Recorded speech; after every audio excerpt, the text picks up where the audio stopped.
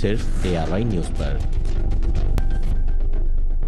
دنیا بھر کی طرح یاکشر کے پاکستانیوں اور کشمیری تنظیموں کے عہدیداروں اور کارکنوں نے مقبوضہ کشمیر کے عوام کے ساتھ یوم یکجہتی پورے جوش و جذبے سے منایا۔ مرکزی تقریب پاکستان کونسلیٹ بریڈ فورڈ کا کمیونٹی ہال میں منعقد ہوئی۔ تقریب میں consular general of Bradford Khalil Ahmad Bajwa نے صدر پاکستان اور وزیر اعظم پاکستان کے پیغامات پڑھ کر سنائے۔ کی اس دن کی مناسبت سے جو صدر پاکستان اور وزیر اعظم پاکستان کے پیغامات جو بھی ہم نے پڑھ کر سنائے، اس میں حکومت پاکستان نے اس امر کا اعادہ کیا ہے کہ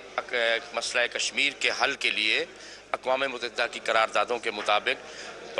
کشمیری عوام کی ہر قسم کی اخلاقی اور سفارتی مدد جو ہے وہ جاری رکھی جائے گی۔ تقریب سے lord mayor of Bradford آجی Khadim Hussain, deputy councillor general Hafiz Muhammad Umar وزیر اعظم آزاد کشمیر کے مشیر برائے برطانیہ سردار عبد الرحمان خان اور دیگر مقررین نے خطاب کرتے ہوئے کشمیریوں سے مکمل یکجہتی کا آزار کیا اور اس بات کا عہد کیا کہ جب تک ریاستی عوام کو اقوام متحدہ کے چارٹر اور کشمیر پر سلامتی کونسل کی قراردادوں کے مطابق ان کو حق خدرادیت نہیں ملتا، بیرون ممالک بسنے والے پاکستانی و کشمیری اپنے مظلوم کشمیری بھائیوں کے لیے آواز بلند کرتے رہیں گے۔ ہر انسان کا جو فرد بنتا ہے۔ انسانی بنیادوں کی حقوق پر کہ جو ظلم و ستم